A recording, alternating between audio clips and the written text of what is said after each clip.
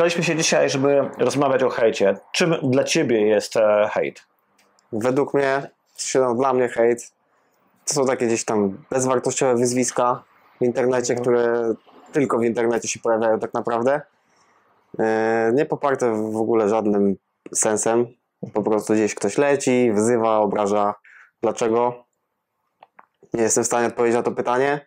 Gdzieś tam pewnie jakieś złe emocje sobie przepisują na papier, że tak powiem, czy na klawiaturę.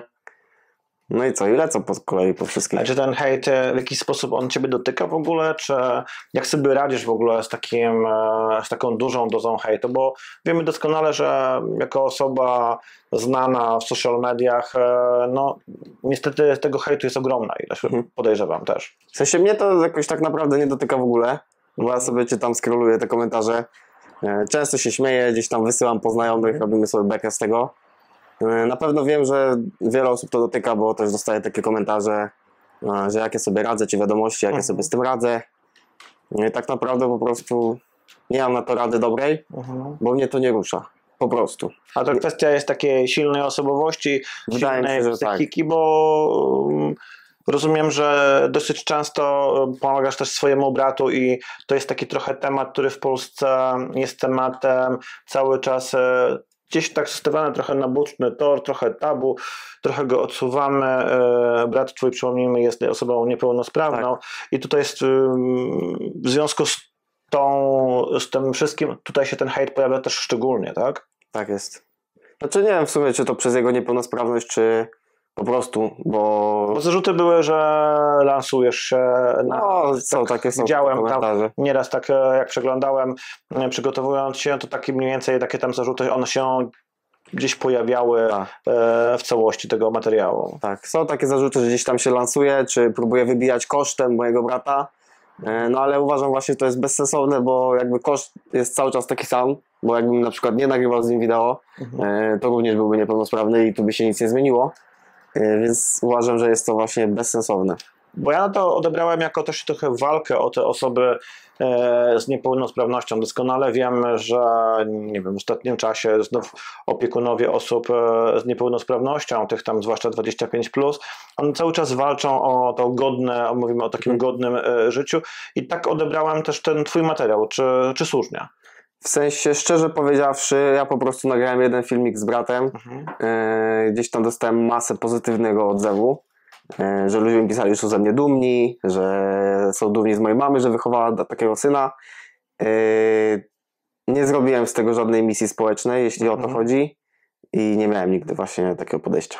Ale A też, to- też zacząłem ten- dostawać e, też feedback taki właśnie, że ludzie że wspieram ich też w tym, bo są osoby, które również opiekują się niepełnosprawnym czy rodzeństwem, czy gdzieś tam rodzicami, czy nawet y, różnymi tam członkami osób.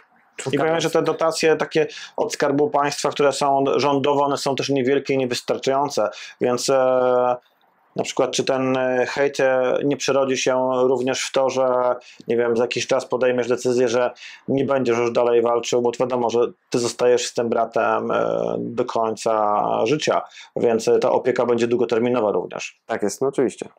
I czy to nie będzie tak, że na przykład jak będzie taka duża, ogromna ilość e, hejtu, to powiesz, dobra, okej, nie będziemy e, niczego już dalej nagrywać i nie będziemy też o to walczyć, czy też w drugą stronę chcesz pójść, że żeby zawalczyć o te osoby e, nie z niepełnosprawnością, o te wykluczania i pójście takie trochę w kierunku społeczno-politycznym, żebyśmy też coś uzyskali też dla nich. Szczerze, nie mam zielonego pojęcia. E, Ciężko jest mi się do tego tak jakoś odnieść z jakimś takim długoterminowym planem. E, Raczej jestem, żyję chwilą, że tak Mhm. powiem.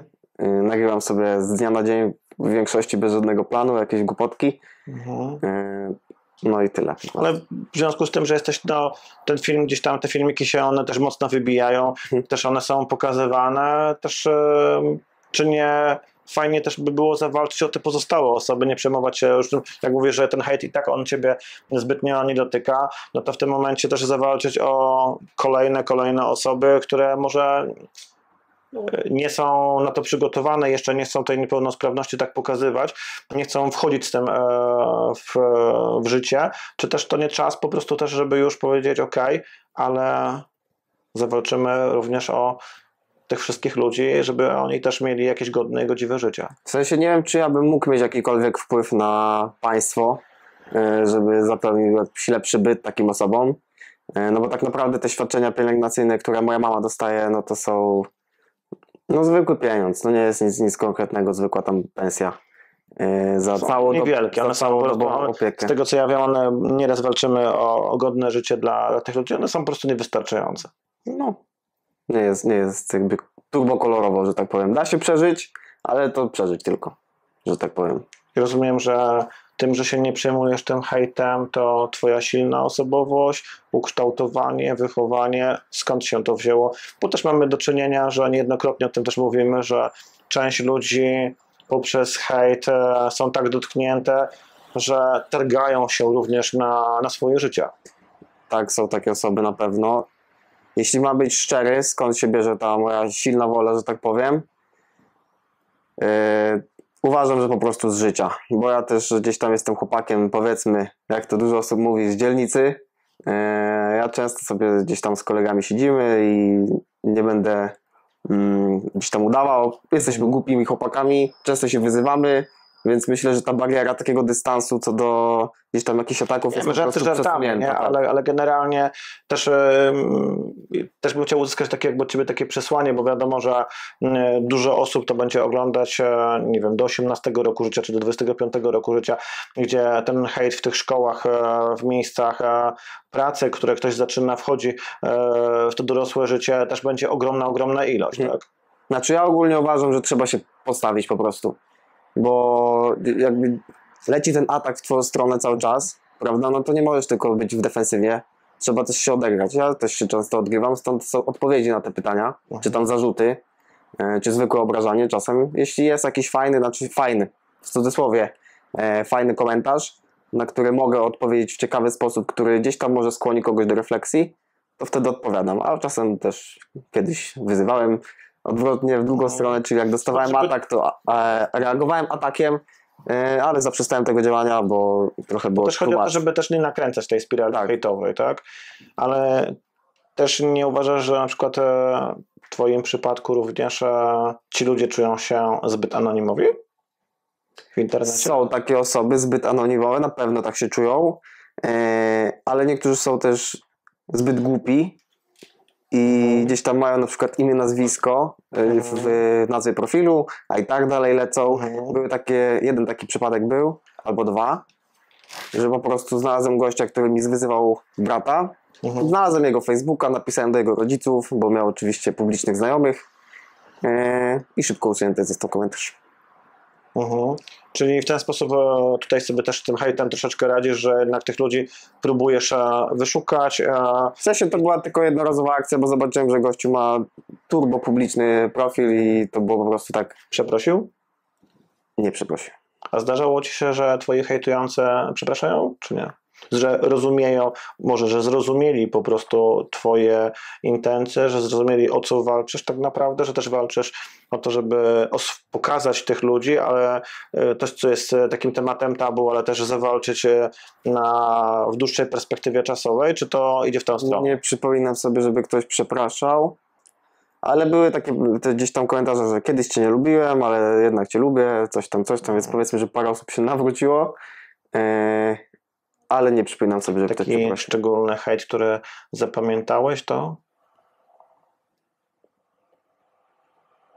Nie ma takiego tylko chyba. były pisane, słowne, Tylko że pisane. gdzieś w przestrzeni, na przykład publicznej, gdzie się pojawiasz, e, ktoś e, podchodził do ciebie e, z hejtem, czy w jakikolwiek agresywny sposób również wokół. Nie spotkałem się z czymś takim jeszcze. Czyli ten internetowy, ten hejt e, w social mediach e, tylko i wyłącznie. Tylko w komentarzach na TikToku tak naprawdę. Nawet w wiadomościach na gdzieś tam na innych socialach to nic nie dostaję.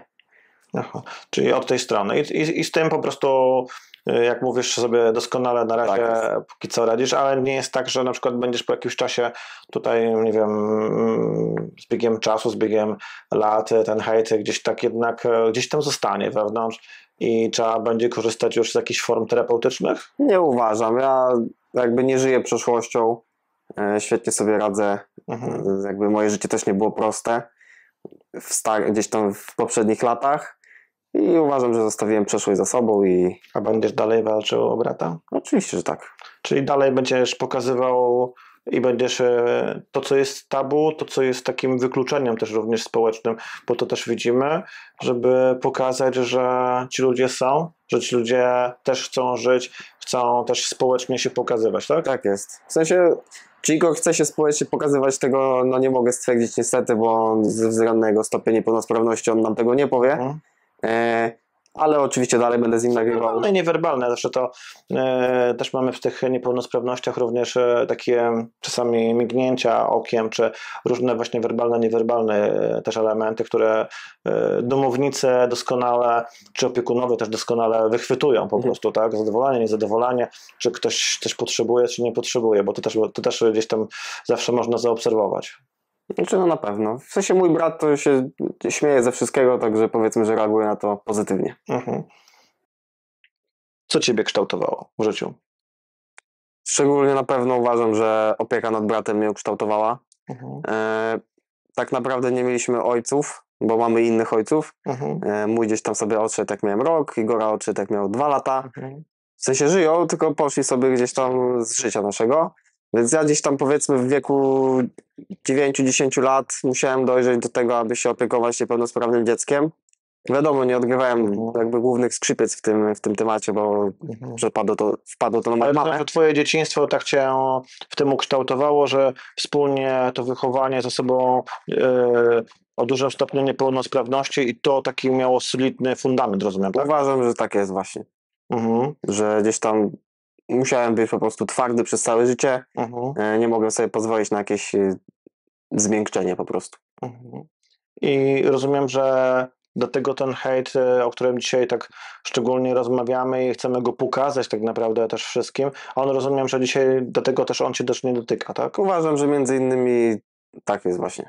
A czy presja na przykład takich osób jak e, Lasucita, którzy e, nieraz tam wystawiają pozytywne komentarze, popierają cię dosyć mocno, czy to też nie jest dla ciebie e, ogromna gdzieś tam presja w tle, że te osoby znane bardzo też liczą na ciebie, czy to właśnie gdzieś tutaj jakoś też... Bardziej w formie motywacji uważam. Nie czuję presji z żadnej, w ogóle z żadnej strony. Idę swoją ścieżką Mhm. i po prostu tyle. Mm, A jak łączysz dążenie do celów e, mm, z opieką nad bratem? Ogólnie ja teraz pracuję, więc już jakby nie jestem tym dzieciakiem, co siedział w domu, Mhm. skipował szkołę, e, żeby się zająć bratem i sobie pograć na kompie w tym samym czasie. E, Tylko już mam pracę, mam kobietę, więc mam też obowiązki jakby Mhm. pozarodzinne. Moja mama to świetnie rozumie, więc jestem teraz troszkę mniejszym wsparciem niż byłem w dzieciństwie. E, Natomiast dalej wspieram i po prostu dążę do swoich celów. Przy okazji pomagam. A czy też social media, w których e, się pokazujesz, nie stały się też dla ciebie takimi tsunami i właśnie takiego hejtu? Bo rozumiem, że normalnie w życiu codziennym nie spotykałeś się z takim hejtem. Nigdy się nie spotkałem. Tylko po raz pierwszy tutaj, jeśli chodzi o ten hejt, czyli rozumiem, że tutaj się wylało cały taki ogrom, ogrom tego, tego hejtu w momencie e, robienia tych filmików z bratem. Tak, można to tak, można tak powiedzieć. No. Okej. E, Czyli walczymy o osoby z niepełnosprawnością. Walczymy mocno do odcinu. o to, żeby oni też e, mieli to godne i godziwe życie i też oswajamy, rozumiem, ludzi z tym, co Polacy trochę gdzieś tam na boku zostawili, e, bo wiadomo, że życie też jak oglądamy dzisiaj jest, e, czy na Instagramach, czy na innych profilach, ono jest zawsze ładne, kolorowe, a zapominamy, że, że ono jest też troszeczkę inne, tak? No, jest inne. Też ludzie właśnie, nie, nie wiem dlaczego pokazują tylko to, tylko te dobre chwile w internecie. Ja Mhm. pokazuję zarówno dobre, jak i złe. E, trzeba iść po prostu do przodu, pokazywać wszystko. Żeby ludzie właśnie nie, potem się nie zadręczali, widzą idealne ciała, idealne życia gdzieś na, na storkach, na zdjęciach i potem się zadręczali w domu, że oni tak nie mają. A prawda jest taka, że ci, co pokazują te idealne ciała i zdjęcia i, Mhm. chwile, również nie mają takich chwil, również mają jakieś swoje demony, z którymi też muszą walczyć. Ale rozumiem, że łatwiej jest, jak ma się wsparcie partnera, partnerki, czy rozumiem rodzinę, tak? Na pewno jest łatwiej, zdecydowanie. Bo niektórzy tego wsparcia nie mają, to też muszą liczyć sami na siebie. E, ja gdzieś tam to wsparcie mam. Czyli dalej będziesz e, walczył, dalej będziesz walczył o niego, ale też będziesz walczył, rozumiem, z tym hejtem. Tak jest.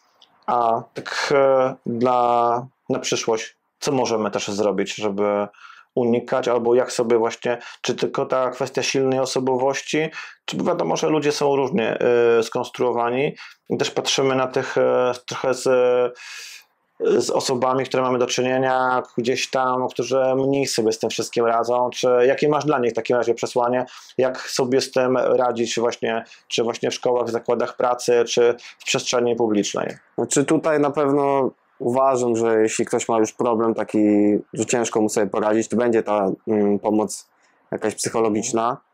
Yy, ciężko mi się odnieść jakoś do życia realnego, bo w życiu realnym w ogóle się nie spotkałem z hejtem.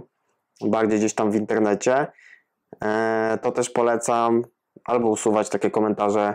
Też czasem usuwam, bo są takie, zazwyczaj mnie nic nie rusza, ale są takie na przykład gościu mi 5-10 filmów pod rząd gdzieś tam mnie zwyzywa, no to po prostu blok leci Mhm. i zapominam o kimś takim, nie?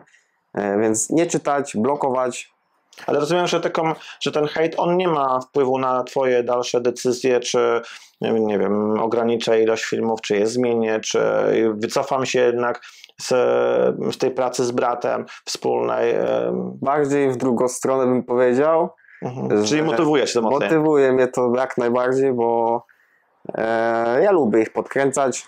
Ja, ja mam z tego potem ubaw, sobie czytam dalej te komentarze, także to raczej w tę stronę leci. Wsparcie rodziny? No, Oczywiście. Jak rodzina na to reaguje? Jak rodzina zareagowała na takie, takie pierwszy, na taki pierwszy filmik twój? Wiedzieli o tym najbliższy? Czy na pewno wiedzieli, bo moja siostra śledzi i przesyła tam mamie, e, raczej się śmieją, w sensie, no po prostu zwykła rozmowa, e, więc pozytywnie, pozytywnie. Czy hejterzy na przykład nie zgłaszali do tego do różnych urzędów, że jest próba, nie wiem, wykorzystania osoby z niepełnosprawnością? Nie, Czyli nie, nie nie posunęli się aż tak Nie. daleko? Nie. Czyli rozumiem, że rodzina, partnerka, partnerzy, wszyscy dookoła cię wspierają, Tak no, tak? tam mam pełne wsparcie Mhm. i sobie lecimy. Tam Czyli, stoi moje wsparcie.